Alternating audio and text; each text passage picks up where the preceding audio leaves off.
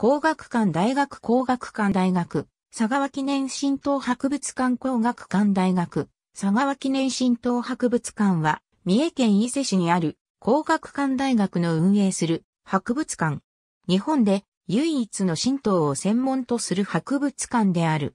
神道の基本行事である祭祀を展示の中核としている。法的には博物館法の適用を受けない博物館類似施設であるが、学校法人工学館では、同法で定める登録博物館に準じる博物館相当施設への移行を目指して準備を行っている。三重県博物館協会会員である。神道と神社の紹介を通して日本の文化をわかりやすく伝えることを目的に工学館大学が設置した博物館である。神宮を中心に伊勢神宮と工学館大学のある伊勢及びその周辺地域の資料をも収集して紹介を行っている。大学付属の博物館として工学館の歴史や精神を紹介するコーナーも設けている。大学基準協会は神道の精神を活かした組織であり、学問的にも社会的にも評価できる内容である。と評価する一方、学術資料が博物館や付属図書館などに分散して保存されていることから、一元管理と適切な保管のシステムの確立が望まれる、としている。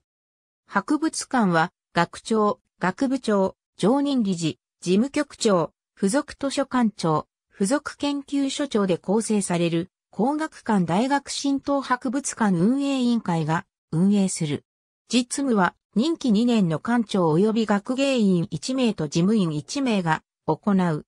2018年現在の館長は、教授の大島信夫。この他学内から専任する専門委員と学外から専任する研究職宅がより専門的な調査、研究を行う。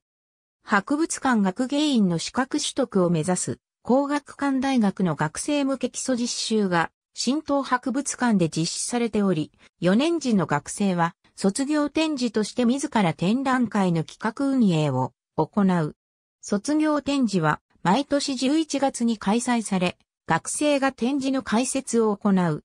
組織としての新東博物館は1989年4月1日に設置された。その後、開館準備が進められ、工学館創設110周年、工学館大学最高30周年記念として1992年10月26日に開館した。一般公開は同年11月1日からである。2012年10月21日放送の日本テレビ系列の気候番組、遠くへ行きたいでは、伊勢、鳥羽を旅するデンジャラスのノッチが、新東博物館を訪れ、工学館大学教授の桜井春夫から新鮮の説明などを受けた。博物館の建物は、鉄筋コンクリート構造を2階建てで、1988年7月25日に完成した。1階には教育、研究機能と博物館管理機能のみで2階で展示を行っている。第1展示室では神社祭祀、第2展示室では伊勢歌舞伎資料と浜地文平収集考古資料で構成される郷土、資料、ロビー展示室では新鮮、工学館ギャラリーでは工学館と大学に関する展示を行っている。新東博物館教養講座として、社会人を対象に年4回、定員80名の講座を実施している。